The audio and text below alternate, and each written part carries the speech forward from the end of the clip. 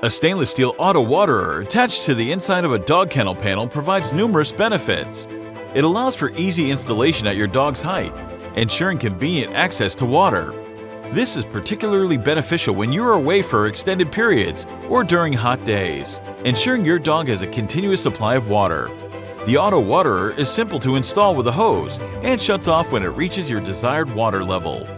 Its stainless steel construction is durable, rust resistant, and easy to clean, promoting hygiene and preventing contamination. With a large capacity of approximately 0.66 gallons, it provides ample water supply. Furthermore, its compatibility with the Vault Waterer and feeder from Cove products, eliminating the need for a water hose source, adds to its practicality. Affordable and reliable, this stainless steel auto waterer is an ideal solution for ensuring your dog stays hydrated.